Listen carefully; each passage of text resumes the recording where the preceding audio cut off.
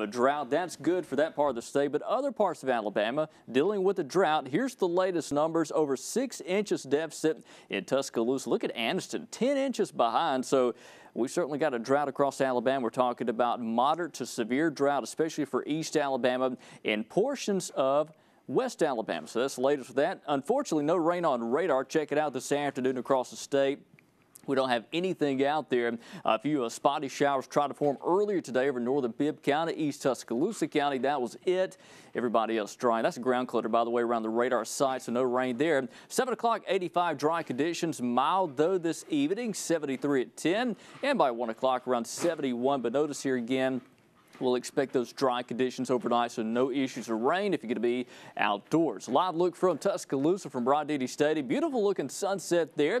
Still pretty hot though, 92 in T-Town, so it's a hot afternoon for the first day of fall. Hey, it doesn't feel like it. Wind is calm, so no breeze to help us out today like we had over the past couple of days. Check it out with the temperatures this afternoon. 97 back in Columbus, uh, Tuscaloosa 92, Birmingham 93.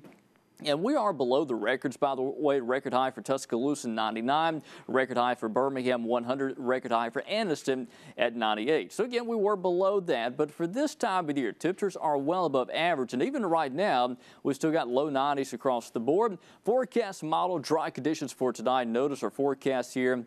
We're expecting temperatures back in those upper 60s to near 70. So for the first night of fall, it's not going to feel too much like fall, a little bit warmer than recent nights and plenty of sunshine on Friday. It is going to be a hot day. A very light north breeze around 3 to 6 miles per hour north to northwest direction. You'll notice that some tomorrow. Saturday morning, a mild, a rather muggy start to the day by then. Notice here again, We've got temperatures rather than the 60s, a widespread low 70s early Saturday morning. Out in the tropics, got two tropical storms we're watching. Tropical Storm Karl and Tropical Storm Lisa. Lisa, the stronger of the two storms, winds to 50 miles per hour. Tropical Storm Karl getting better organized. Wind shear starting to relax over that storm. It will impact Bermuda on Friday into Saturday, but this storm recurved before reaching the U.S. That storm will not impact land. It's going to stay out of the middle Atlantic Ocean and weaken over the next several days. Football forecast, it is going to be a scorcher in Bryant Denny Stadium Saturday, 11 o'clock kickoff close to 90. Look at the end of the game, 95 heat index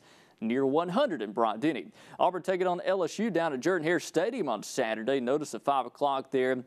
We got upper 80s, so it's going to be a warm start to the game, but ramping things up down at Jordan Hare, a little bit cooler. Upper 70s there.